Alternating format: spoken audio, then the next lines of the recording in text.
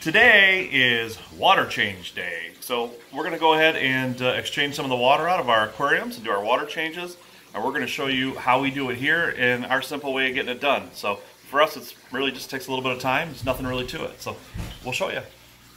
With our aquarium set up in the basement, a little easier for us because we just use this Python deal. I've got a 50 footer and we literally run this 50 foot Python all the way over to our utility room and up into our utility sink. So this is what I do. I just drop this python in the water. I use this clamp to hold it to the aquarium so it doesn't slip when it's uh, when it's draining or when it's refilling. Um, and then what I'll do is I'll go in, I'll turn the water on. It creates that siphon in the laundry room there, the utility sink. I'll create that siphon. And once I get a, a good flow going, I'll turn that water off so that pump doesn't have to work. And then it's just the siphon, it's just a gravity fed that will slowly drain this out. And then I'll drain about a quarter of it, and then I'll fill it back up. Just like that. Watch. So do you guys remember back in the day, the water beds, they had a filler much like this, something that used to fill it and drain it. Um, and this was kind of the, uh, the concept of the Python as well. So you hook it to your faucet, you hook this to your this hose that goes back to your aquarium, and then when you come in here and you turn on your faucet, it creates a siphon or pump.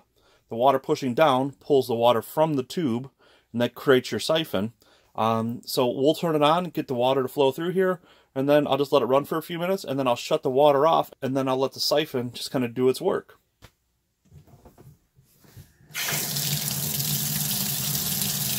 Alright, now I'm going to just turn the water off.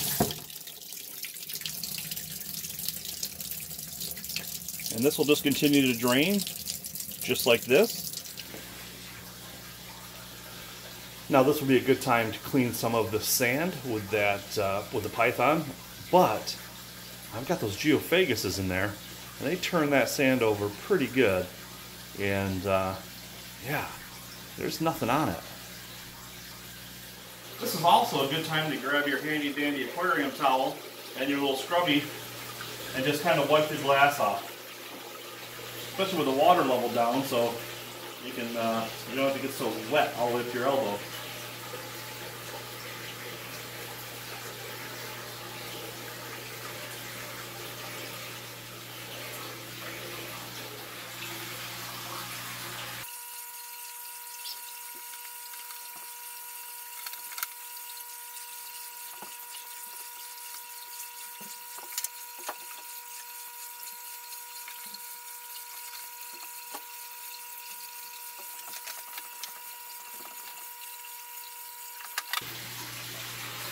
So I've drained 25% of the water out of this tank.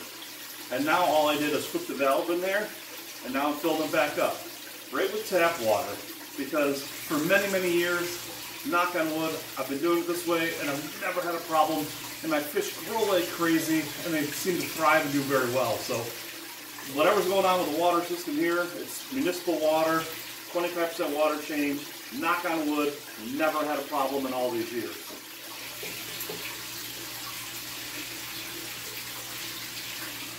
It is a little noisy down here with all of the water levels being low and the pump still going. I could have turned them off, but uh, yeah, I just let them go.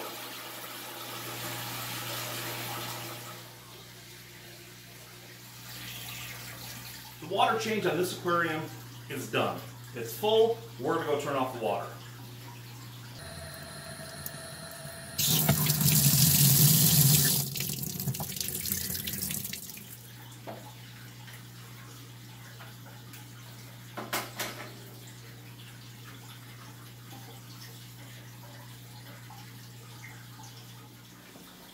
Now we do the same thing for our 90 gallon.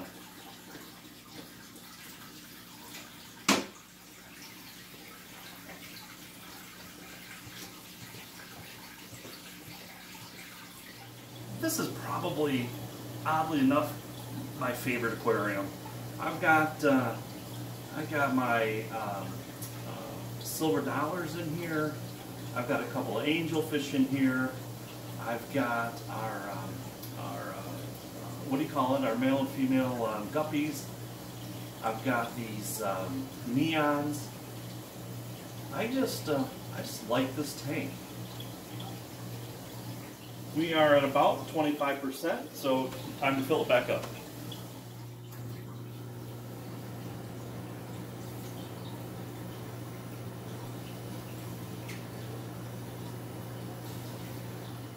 And next, onto our 110. Again, same process. Siphon it out. Once I get about a quarter of the water out, I just flip the dial, flip the valve, turn the water back on, and I fill it back up. And that's my water maintenance. I do it every two weeks, and my fish do great.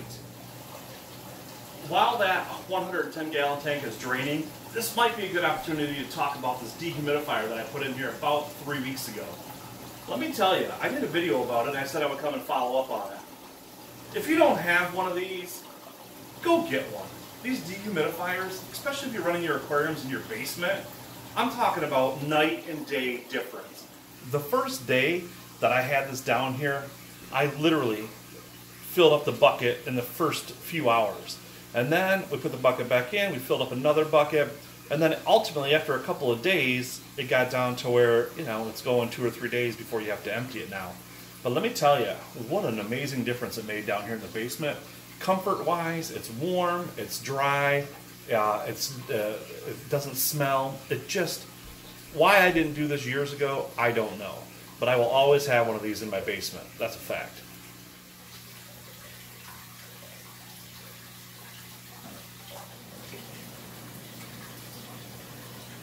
We had gotten down to our 25% mark, and now we're filling this aquarium back up, and that'll be it. I'll be done with the water changes. And that's it.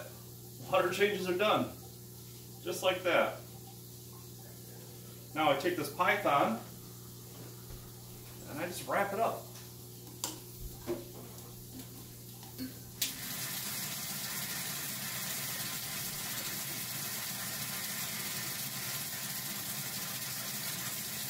And I leave the siphon on for the very last part because it sucks the water back out of this tube as I'm wrapping it up. And that's it. It's wrapped up. And then I'll I'll come back and I'll hang this up in a minute. All done. Just like that. And what did that take me? Probably about, I don't know, 35, 40 minutes tops for three aquariums. I gotta fix these here. I bought these lids and I put them on, but I got a cutout for the uh, for the filter return and intake.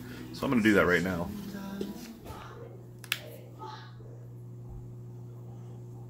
Well, we'll just do it just like this. I like it because it just gives it that nice clean cut. And we'll just put this back on here.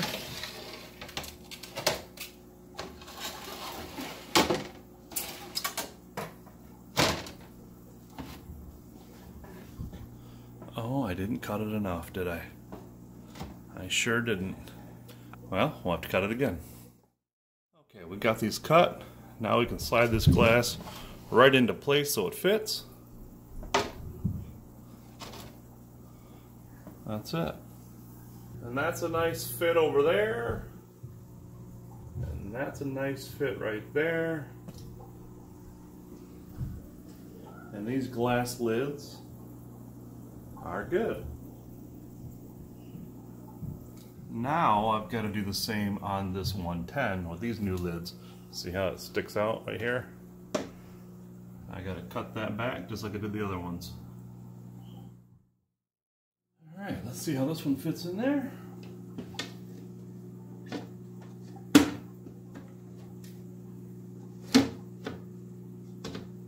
Perfect.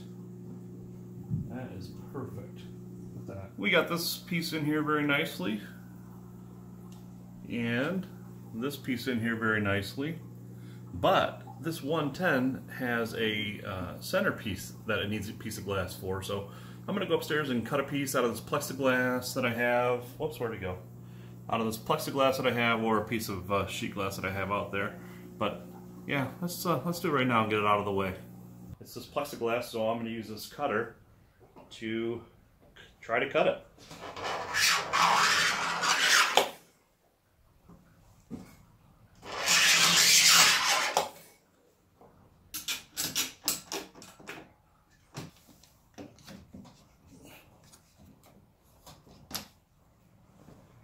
Okay, now, in theory, I should be able to hit this and snap it. Let's see what happens. Oh boy. Alright, it worked. I got a little end piece here I gotta snap off. Alright, I flipped this around, I've marked it. Now I'm gonna score this this side. Alright, got that snug. Let's try it again. Lined up, it's scored. Let's see what happens. One, two, three. And it did. It went right down that cut. Now I just got to clean this edge up. Hopefully I can do it with these pliers.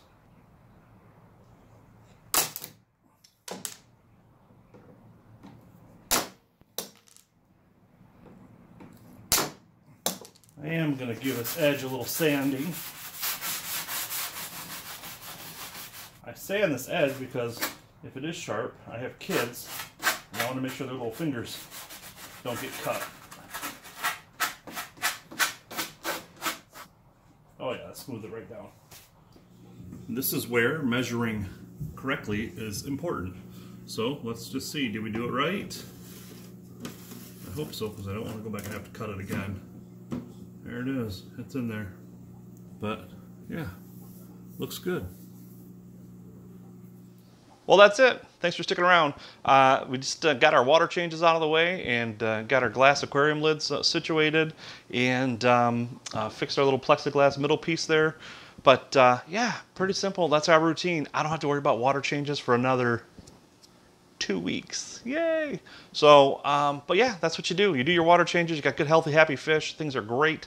You've got uh, glass lids. It uh, uh, cuts down on the evaporation that you have, and uh, also helps keep the, the temperature of the tanks where they're supposed to be. And the friggin' dehumidifier. It is awesome. Ever since I put that thing in here, it has been nice and dry and warm.